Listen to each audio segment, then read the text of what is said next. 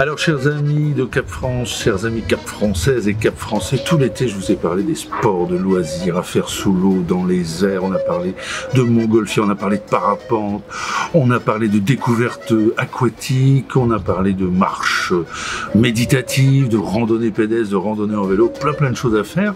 Alors, il y a une chose dont j'ai oublié de vous parler, il faut absolument le faire. On on va pas dire que c'est un sport, mais presque hein, quand même. Euh, on pourrait même créer une fédération française de randonnée pour soutenir le commerce local et les bistrots. Hein, ça pourrait être une bonne idée. J'avais entendu parler de la Fédération française de l'apéro, oui, ça peut. Fédération française de l'apéro qui existe, hein, qui a son siège à Paris, exactement.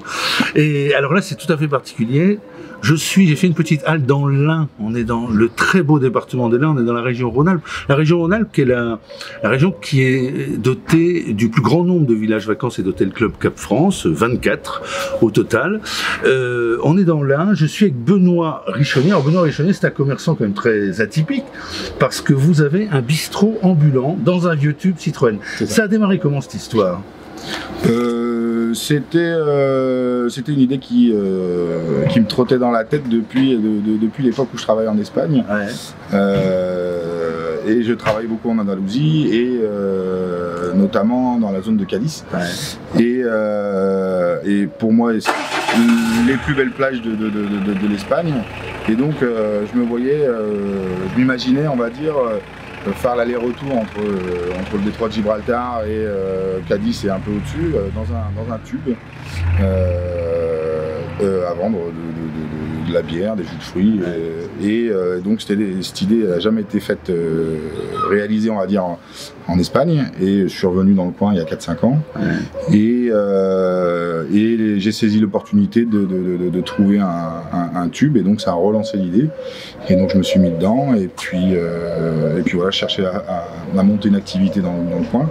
Donc je trouvais que ça pouvait être le bon, le bon créneau On le signale, ce marché, vous êtes sur le marché tous les samedis ici tous les samedis ouais, depuis deux, deux ans ouais, maintenant ouais. élu sixième plus beau marché de France. Sixième plus beau marché de France, oui, c'est euh, un, un concours, on va dire, qu'a qu'a lancé euh, l'année dernière euh, TF1 et Jean-Pierre Pernaut Ouais. pour mettre en, en valeur le patrimoine et les marchés, de, les marchés de France en général. Donc il y a eu un premier vote sur la région Rhône-Alpes où les, les- gens votaient sur Internet et donc Châtillon est sorti premier. Euh, de, de- de- de la région Rhône-Alpes. Ouais. et de là euh, 25 marchés donc ont été mis en valeur en France. Et donc euh, TF1 est venu faire un, mar- un- un reportage sur le, sur le marché de, euh, de Châtillon. Et euh, pareil en, en termes de vote on a fini on a fini sixième. Benoît, vous parliez de Jean-Pierre Pernaud, qu'on aime bien, Jean-Pierre Pernaud. Euh, et puis tiens, puisqu'on parle de TF1, on va saluer au passage Laurent Mariotte, qui est partenaire du Cap France. hein, sur le sur euh, le, le label 4 saisons. On revient à votre euh, tube La Bohème, hein, bistrot ambulant.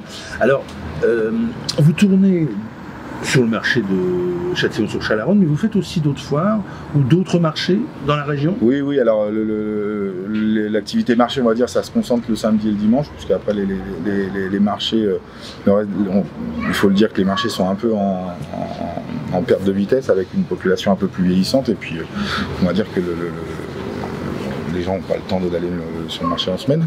Mais à côté de ça, il y a beaucoup de choses à faire, justement au niveau des foires. Vous avez une belle foire à Châtillon au mois d'avril, euh, euh, des marchés sur le Beaujolais, même à Lyon. Donc moi j'arrive à, à- quand même à faire un peu de distance, hein, mais euh, voilà, du fait de la proximité, et du dynamisme de, la région, euh, voilà, je descends sur Lyon de temps en temps pour des marchés, pour, euh, pour des foires, pour des salons, donc, donc pas mal de choses à faire. D'accord.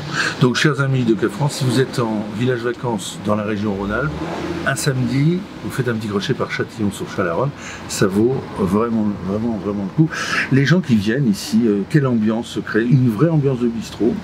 Ils s'installent, ils autour, ils Ouais, restent ouais, ouais. debout. C'est ça, alors euh, on, on me demande souvent de, euh, en hiver de, de- de mettre une tonnelle pour, le- pour la pluie, en, été de, en été de mettre une tonnelle pour, la, pour, la, pour le soleil, et si je pouvais avoir d'autres tables. Donc voilà, oui, c'est un, un vrai point de rencontre. C'est vraiment le, le, le- le bistrot ambulant. Je suis content, je suis- ambulant. je suis content d'avoir trouvé le nom, parce que c'est Est-ce que c'est vous qui avez trouvé le nom?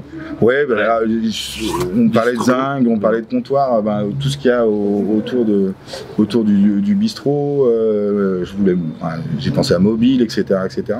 Et ambulant, je trouvais que ça bien plus, euh, bien plus cool de- dans, Ouais. dans- dans l'idée. Et puis, et puis le bistrot, bah, ça, ça parle à tout le monde. quoi. Et puis il y a la notion de voyage, voyage, de déplacement. C'est ça. C'est pour, ça que c'est la, la- je l'ai appelé un peu la bohème. Alors j'ai vu une belle pancarte pour terminer, Benoît. Boire un canon, c'est sauver un vigneron. C'est mon côté humaniste. ouais. Ouais, mais ça c'est bien ça. Donc on va sauver des vignerons. là.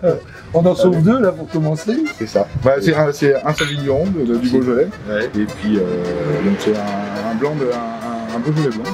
Beaujolais blanc. Donc, euh, pareil.